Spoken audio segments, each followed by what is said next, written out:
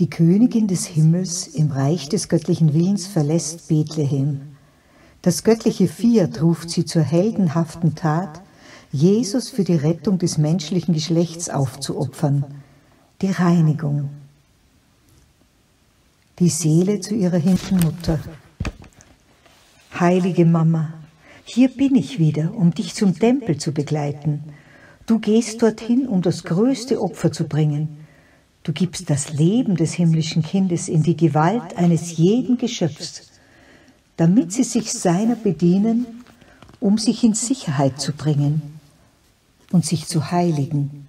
Doch ach, welch ein Schmerz! Viele benutzen ihn, um ihn zu beleidigen und auch um verloren zu gehen. Ach, meine Mama, lege den kleinen Jesus in mein Herz und ich verspreche und schwöre dir, ihn immer zu lieben und ihn als Leben meines armen Herzens zu bewahren. Lehre der Himmelskönigin. Mein liebstes Kind, wie glücklich bin ich, dich in meiner Nähe zu haben. Mein mütterliches Herz fühlt das Bedürfnis, meine Liebe mitzuteilen und dir meine Geheimnisse anzuvertrauen. Sei bei meinen Lehren aufmerksam und höre mir zu Du musst wissen, dass wir bereits 40 Tage in dieser Grotte vor Bethlehem waren, dem ersten Zuhause meines Sohnes hier auf Erden. Doch wie viele Wunder geschahen in dieser Grotte. Das himmlische Kind stieg in seinem Eifer der Liebe vom Himmel auf die Erde, er wurde empfangen und geboren und fühlte das Bedürfnis, die Größe seiner Liebe mitzuteilen. Jede Träne, jedes Wimmern und Stöhnen war ein Ausdruck seiner Liebe, er ließ es auch zu, vor Kälte steif zu werden. Seine Lippen, bläulich und zitternd, drückten das ganze Ausmaß seiner Liebe aus. Und er suchte seine Mutter, in die er diese Liebe legen konnte, die er nicht mehr fassen konnte. Ich war die Beute seiner Liebe, so fühlte ich mich ständig von ihm verwundet und fühlte den Herzschlag meines geliebten Kleinen. Ich fühlte in meinem mütterlichen Herzen, wie er atmete und sich bewegte. Ich hörte ihn weinen, stöhnen und wimmern und wurde von den Flammen seiner Liebe überflutet. Bereits die Beschneidung hatte tiefe Wunden in mir geöffnet, in die er so viel Liebe eingoss, dass ich mich als Königin und Mutter der Liebe fühlte. Ich fühlte mich hingerissen, wenn ich sah, wie mein guter Jesus bei jedem Leid, in jeder Träne und Bewegung seine Mutter als seine geliebte Zuflucht für seine Akte und sein Leben suchte und rief, Wer kann dir sagen, mein Kind, was in diesen 40 Tagen zwischen mir und dem himmlischen Kind geschah? Er wiederholte seine Akte gemeinsam mit mir, seine Tränen, seine Leiden, seine Liebe. Sie waren mit mir verschmolzen und das, was er tat, das tat auch ich. Als nun die 40 Tage vollendet waren, wollte mein geliebtes Kind mehr denn je ertränkt von seiner Liebe dem Gesetz gehorchen und sich im Tempel für das Heil aller aufopfern. Es war der göttliche Wille, der ihn zu diesem großen Opfer rief, und wir gehorchten bereitwillig. Mein Kind, dieses göttliche Fiat stellt, wenn es die Bereitschaft zu dem findet, was es will, dem Geschöpf seine göttliche Kraft zur Verfügung, seine Heiligkeit, seine schöpferische Macht um diesen Akt zu vervielfachen, dieses Opfer für alle und für jeden Einzelnen. Es legt Münzen von unendlichem Wert in dieses Opfer, um für alle bezahlen und Genugtuung leisten zu können. So gingen deine Mama und der heilige Josef zum ersten Mal mit dem kleinen Jesuskind an die Öffentlichkeit. Die ganze Schöpfung erkannte ihren Schöpfer und sie fühlten sich durch seine Anwesenheit in ihrer Mitte geehrt. Sie feierten ein Fest und begleiteten ihn auf dem ganzen Weg.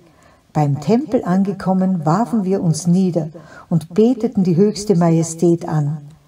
Dann legten wir ihn in die Arme des Priesters, der ihn dem ewigen Vater aufopferte. Der Priester hieß Simeon. Er brachte ihn zum Heil aller dar.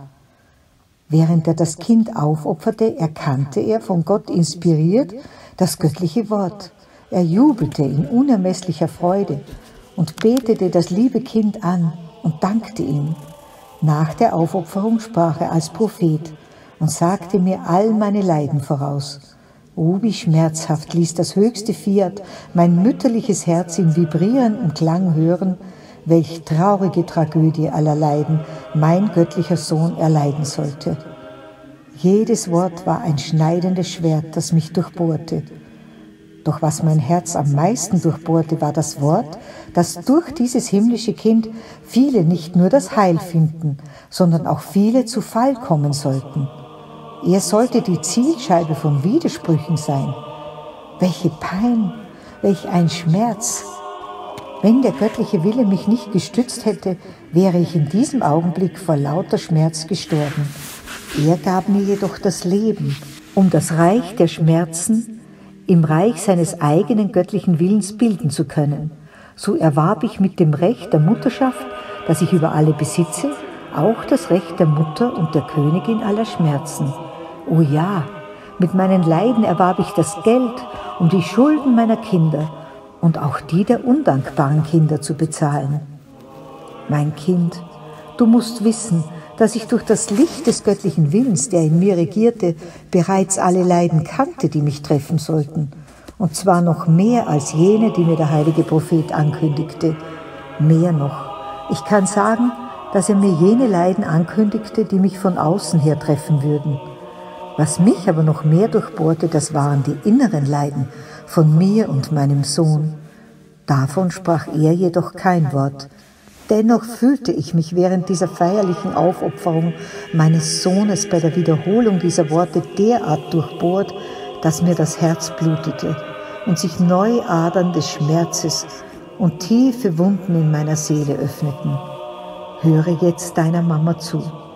Sei in deinen Leiden und bei den leidvollen Begegnungen, die auch dir nicht fehlen werden, zum Opfer bereit, wenn der göttliche Wille es von dir will. Sei nicht traurig. Im Gegenteil, wiederhole sofort das Kostbare und liebe Fiat, das bedeutet, was du willst, das will auch ich. Und sieh zu, dass du mit heldenhafter Liebe den göttlichen Willen seinen königlichen Platz in deinen Leiden einnehmen lässt so wird er sie dir in Münzen von unendlichem Wert umwandeln. Damit wirst du deine Schulden und auch die deiner Brüder zahlen können, um sie aus der Sklaverei des menschlichen Willens zurückzukaufen. So werden sie als freie Kinder in das Reich des göttlichen Fiat eintreten können.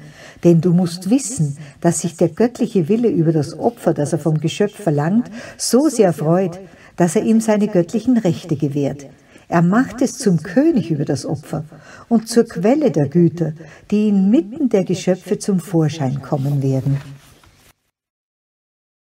Die Seele zu ihrer himmlischen Mutter.